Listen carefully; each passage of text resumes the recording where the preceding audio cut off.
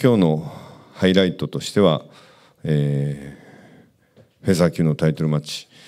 あの僕の中で言うといろいろ下馬評がまあ試合前に関係者の人たちとコミュニケーションを取る中でいろいろ漏れ聞こえてきた中では牛久が有利じゃないかっていう声が後半すごく強くなってたんですね。あのまあ体調もだし、えー、準備もしっかりできてるしそれでいてやっぱりチャンピオンであるということの自覚とそのチャンピオンへのこだわりといろんなものがしっかりこういい形でバランスよく整って、まあ、年齢的なことも含めてですね。僕も牛久選手が意外にこう王者としての強さを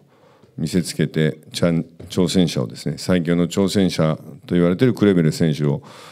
えー、一周するのかなというふうにすらちょっと思ったりもしながら見させていただいたんですけど、まあ、試合結果はあのご覧の通りやっぱりクレベルの強さというか、うん、クレベルの強さというかクレベルにとっても やっぱりこのライジンであのベルトを目指して、えー、チャレンジしてっていう中でいろいろ紆余曲折ありましたし。まあ、彼の人生そのものがですねやっぱり 常にチャレンジ逆風の中でのチャレンジの連続の中で今日という日があったと思うんですが、まあ、そういうもの全てがあの今日のクレベル選手の戦いの中で彼のあのパフォーマンスには